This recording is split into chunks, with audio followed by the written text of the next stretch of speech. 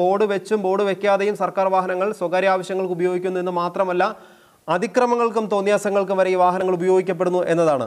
എന്താണ് താങ്കൾക്ക് പറയാനുള്ളത്? ഇത് നിയന്ത്രിക്കേണ്ടതല്ലേ?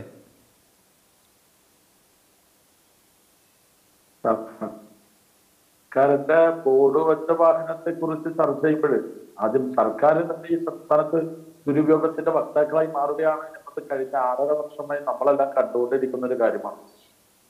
അതിന്റെ ഒടുവിലത്തെ ഉദാഹരണമാണ് മുഖ്യമന്ത്രിയും മുഖ്യമന്ത്രിയുടെ ക്യാമറമാനും മുഖ്യമന്ത്രിയുടെ ഭാര്യയും മുഖ്യമന്ത്രിയുടെ മകളും കൊച്ചുമകനും പ്രൈവറ്റ് സെക്രട്ടറിയും ഉൾപ്പെടെയുള്ളവരുടെ യൂറോപ്യൻ യാത്രകൾ. അപ്പൊ എന്ത് സന്ദേശമാണ് കേരളത്തിന്റെ ബഹുമാനപ്പെട്ട മുഖ്യമന്ത്രി നാടിന് കൊടുക്കുന്നത്? മന്ത്രിമാർ ഇപ്പോ ഒരു പ്രൈവറ്റ് സ്റ്റാഫിനെ വെച്ച് പ്രൈവറ്റ് സെക്രട്ടറിയും പ്രൈവറ്റ് സെക്രട്ടറിക്ക് ഡ്രൈവറും എന്ന രീതി ആ പ്രൈവറ്റ് സെക്രട്ടറിക്കും ബോർഡ് വെച്ച വാഹനം എന്നൊക്കെ പറയുമ്പോൾ അത് കുറച്ച് അതിക്രമിച്ച പണി തന്നെയാണ്. പക്ഷേ ഇവിടെ കുറച്ച് നാളുകളായി കേരളത്തിൽ ദുരുപയോഗമാണ് നടന്നുകൊണ്ടിരിക്കുന്നത് എന്നതിൽ യാതൊരു തർക്കം വേണ്ട. നമ്മളിവിടെ ഒരു ഭാഗത്ത് സാമ്പത്തിക ബുദ്ധിമുട്ടും സാമ്പത്തിക പരാമർശങ്ങളുമായി സാമ്പത്തികമായി സർക്കാർ കൂപ്പുകുത്തുന്ന സമയത്താണ് മുഖ്യമന്ത്രിയുടെ ഔദ്യോഗിക വസതി മോടി പിടിപ്പിക്കാൻ കോടികൾ മുടക്കുകയാണ്. മുഖ്യമന്ത്രിക്ക് ഇന്നോവ ക്രിസ്റ്റ കാർ വാങ്ങാൻ മുപ്പത് ലക്ഷം രൂപ പിന്നീട് കിയ കാർണിവൽ വാങ്ങാൻ ലക്ഷങ്ങൾ. അങ്ങനെ മുഖ്യമന്ത്രി ആറ് മാസം ഒരു കൊല്ലം കൂടുമ്പോൾ വാഹനങ്ങൾ മാറ്റി ഈ സംസ്ഥാനത്തിന്റെ സാമ്പത്തിക മേഖലയെ കൂപ്പുകുത്തിക്കുകയാണ്. മാത്രമല്ല ഇപ്പോൾ അദ്ദേഹത്തിന്റെ ഔദ്യോഗിക വസതിയിൽ പശുവിന്റെ ഫാം തുറക്കുന്നതുമായി ബന്ധപ്പെട്ട് നാൽപ്പത് അൻപത് ലക്ഷം രൂപ മുടക്കുന്നു. അവിടെ സ്റ്റാഫുകൾ ഉൾപ്പെടെയുള്ള അപ്പോയിന്റ്മെന്റുകൾ അത് ഈ നാടിനും ഈ സർക്കാരിനും നമ്മുടെ എല്ലാം നികുതി പണമാണല്ലോ ഈ ദുരുപയോഗം ചെയ്യുന്നത്.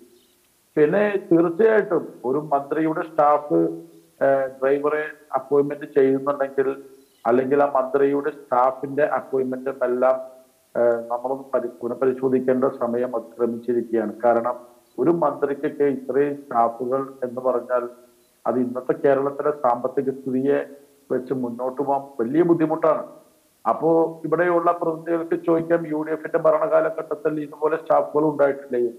ശരിയാണ്. യു ഡി എഫിന്റെ ഭരണകാലഘട്ടത്തിൽ സ്റ്റാഫുകൾ ഉണ്ടായിട്ടുണ്ട്. പക്ഷേ ആ സ്റ്റാഫുകൾ എന്നൊക്കെ പറഞ്ഞാൽ അന്ന് നമ്മുടെ സംസ്ഥാനത്തിന് ഇത്രയും സാമ്പത്തിക പ്രശ്നം ഉണ്ടായില്ല സർക്കാർ ജീവനക്കാർക്ക് ശമ്പളം കൊടുക്കാതിരിക്കാനുള്ള ഒരു അവസ്ഥയുണ്ടായില്ല. പെൻഷൻ മുടങ്ങുന്ന ഒരു അവസ്ഥയുണ്ടായിട്ടില്ല.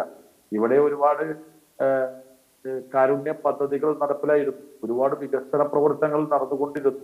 നമുക്ക് റോഡുകളും പാലങ്ങളും തോടുകളുമായിട്ട് ഒരുപാട് പണിയാൻ സാധിച്ചൊരു കാലഘട്ടമായിരുന്നു. നമുക്ക് കോൺട്രാക്ടർമാർക്ക് ബില്ലുകൾ മാറി കൊടുക്കുന്നതിന് ബുദ്ധിമുട്ടുകൾ ഉണ്ടായില്ല പക്ഷെ ഇന്നതല്ല കേരളത്തിലെ സാഹചര്യം. വർഷങ്ങളായിട്ട് പണത്തെ റോഡുകളുടെയും പാലങ്ങളുടെയും ബില്ലുകൾ മാറാൻ പറ്റുന്നില്ല. എന്തിനേറെ പറയണം പഞ്ചായത്ത് മുനിസിപ്പാലിറ്റി വർക്കുകൾ എടുക്കുന്ന കോൺട്രാക്ടർമാർക്ക് പോലും അവരുടെ ബില്ലുകൾ മാറാൻ പറ്റാത്ത സാഹചര്യമാണ്.